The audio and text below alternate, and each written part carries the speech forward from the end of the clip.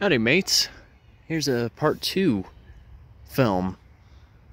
You may be thinking upon initial glance, what? Orchards? Again? Yes. There's indeed even orchards over here down in Arizona. Given that we're near the Oak Creek, the soil is fertile enough for such growth.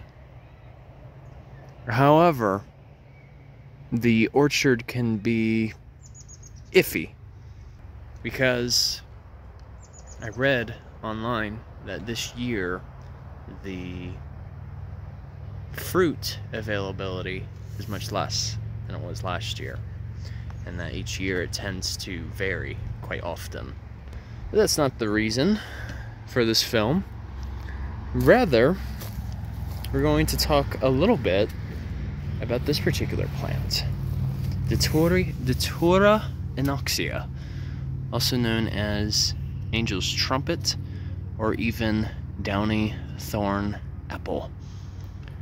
Now, this is a plant that will often bloom intermittently between the summer and first frost. But it is not related necessarily to your more common moonflowers. It's similar,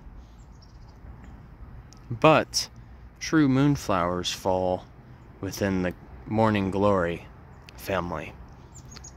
Whereas this particular plant, Angel's Trumpet, is in the nightshade family. Solana ca.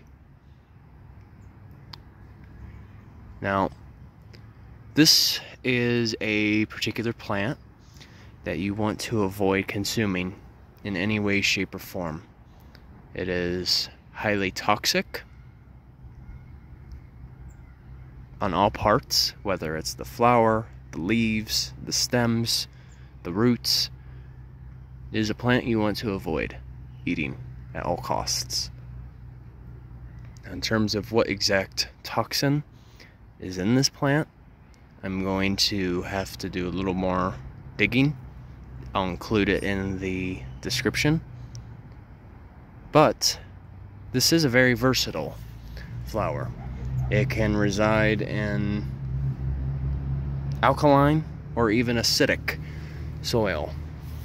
But for the most part, most of the native range is in the southwestern United States.